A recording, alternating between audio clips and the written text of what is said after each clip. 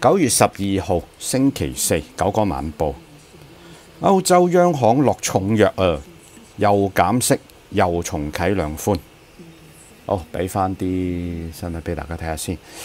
誒，歐洲央行议息會議之後決定再減息十個點子至到負零點五個 percent，同埋由十一月開始重啟買債，每月就诶二百億歐羅。市場並未有完全預期咧，歐洲央行會重啟量寬，所以咧就債息都有下跌。稍後睇翻啲圖表啊。另外咧就今朝早誒、大概六七點嘅時候咧，就特朗普宣布就延遲增加中國貨品嘅關稅兩個星期，去到十月中啊。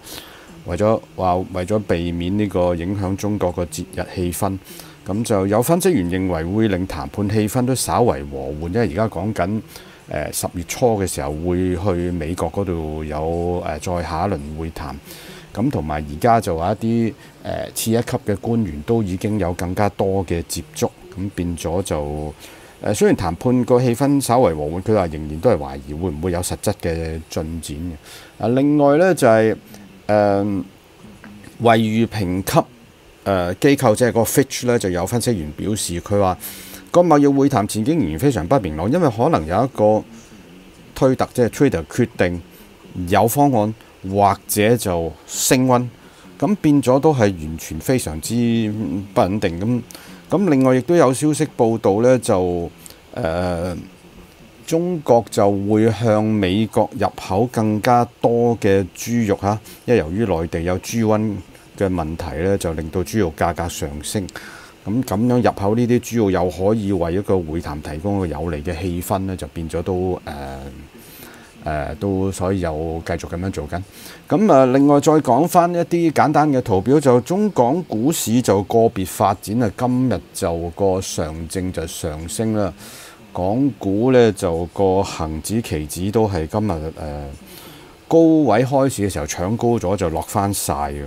咁就結果今日個恒生指數收跌七啊幾點，就成交都唔夠八百億。而我自己用嗰個恆生標期嗰個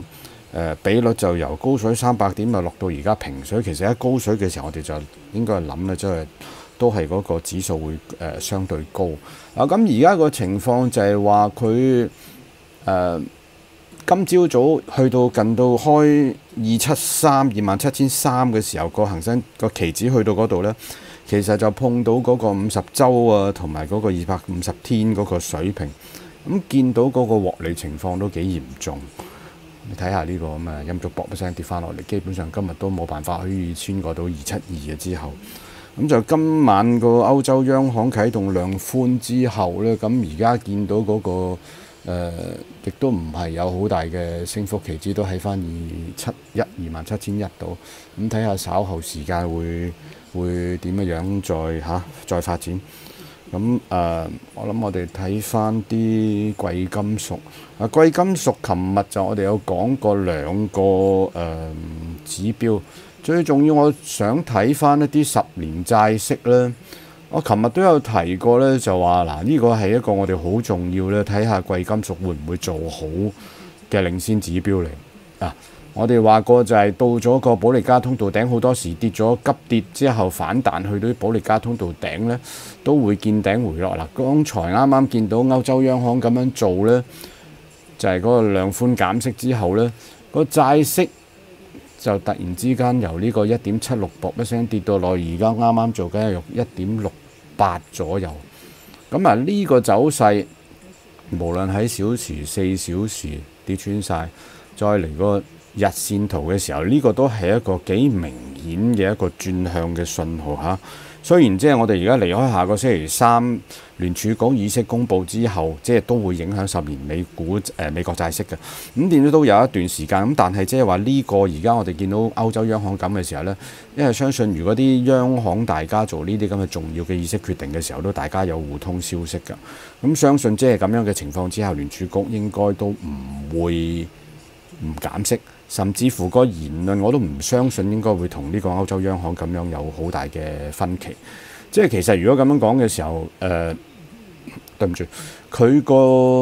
歐洲央行咁嘅態度嘅時候，其實即係話對翻歐洲本土嗰個經濟嗰個睇法都會係相當啊誒擔心嘅。啊，另外一個除咗十年債息之外，我哋睇翻個金銀差呢，喺公布咗呢個消息之後，就個走勢相反，而家去到差唔多八十三。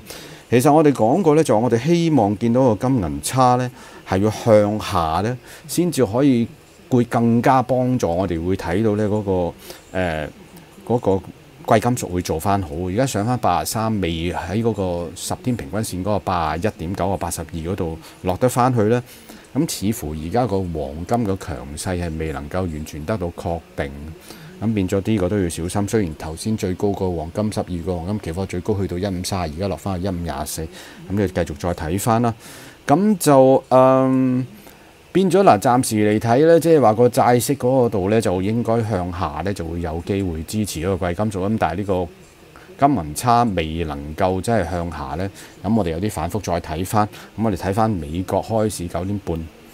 就嚟開下，咁變咗就到時再睇翻。咁我相信呢，就尋日講嗰啲貴金屬嘅水平，今日要修正翻，因為即係唔會再跌，因為已經扯咗上去咧。譬如好似黃金呢啲，我會相信呢，就話喺一五二六，因為而家要上已經過咗嗰個十天、二十天嗰個死亡交叉，大概而家喺大概一五二六、二七嗰個水平。個白銀就係個一八四零啦，即係我哋之前走嗰、那個、大長銀個位置，而家嚇貴啲都買翻，即係嗰度低，諗住再低啲買唔翻。